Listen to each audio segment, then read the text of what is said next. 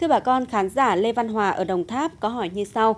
Hiện nay đang là mùa lũ ở đồng bằng sông Cửu Long. Tôi không muốn trồng lúa hay hoa màu trong mùa này bởi vì rủi ro rất lớn. Tôi muốn chuyển sang nuôi lươn thì có được hay không? Mong các chuyên gia của chương trình sẽ tư vấn giúp tôi.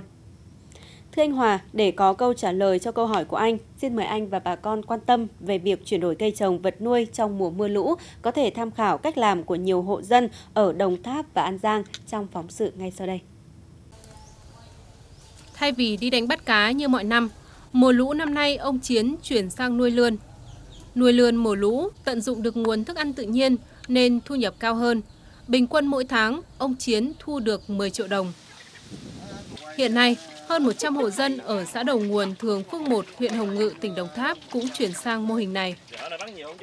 Lúc nổi là thường thường là mình à, giá tỷ mình tốn có 5 ngàn à, còn bù khô phải tốn từ 10 ngàn giá tỷ à, thức ăn rồi kia đó.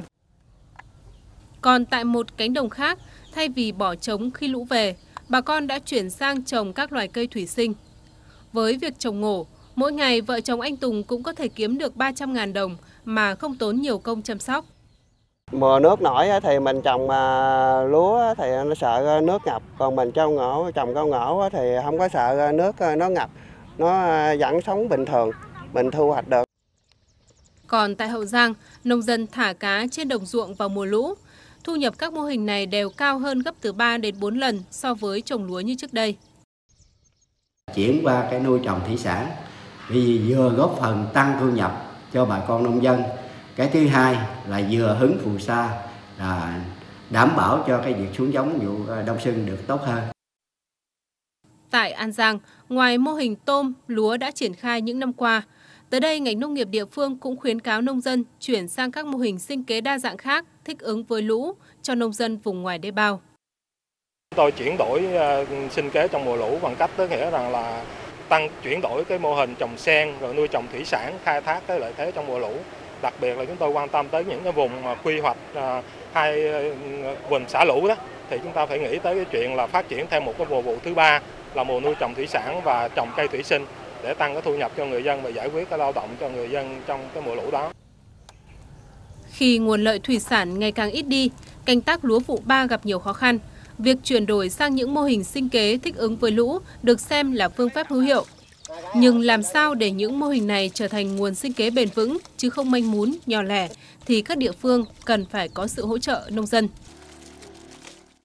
Vâng, chúng tôi cũng xin được cung cấp thêm một thông tin, đó là theo dự báo của Trung tâm Khí tượng Thủy văn Quốc gia, mực nước sông Cửu Long đang lên theo chiều cường và có khả năng sẽ đạt mức cao nhất trong vòng 2 ngày tới đây.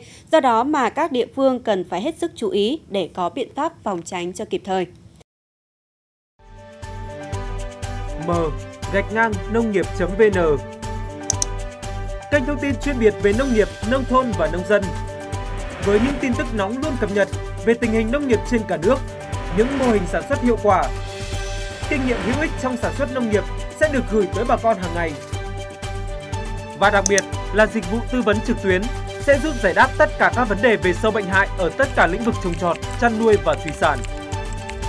Bên cạnh đó, kênh thông tin khởi nghiệp sẽ giúp bà con có cái nhìn bao quát nhất về quá trình khởi nghiệp của mình. Ở đó, các nông hộ sẽ có được sự đồng hành, giúp sức của các chuyên gia ngay từ khi lập kế hoạch sản xuất cho tới khi xuất bán sản phẩm. Hãy truy cập vào website m gạch ngang nông nghiệp.vn hoặc nông nghiệp tv.vn để có những thông tin nhanh nhất, mới nhất, hữu ích nhất về sản xuất nông nghiệp. M gạch ngang nông nghiệp.vn Thông tin vì nhà nông về nhà nông.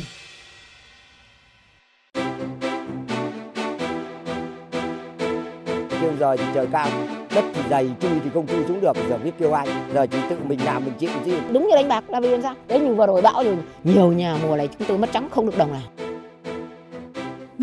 đề nóng bỏng của làng quê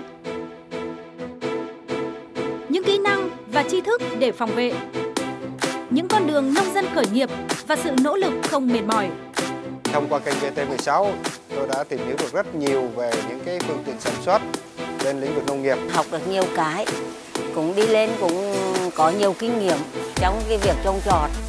Phân tích, bình luận với các chuyên gia uy tín với ta họ rất dễ dãi. Nhưng mà cái điều đó lại biến chúng ta trở thành sự luộm của không chuyên nghiệp. Anh muốn giữ được thương hiệu thì anh phải có chiến lược dài về cái sản phẩm của mình. Nông nghiệp nông dân nông thôn đang chuyển mình như thế nào? Nông thôn chuyển động 6 giờ 10 phút hàng ngày. Phát lại vào 14 giờ 15 21 giờ 40 trên 3 n VTC 16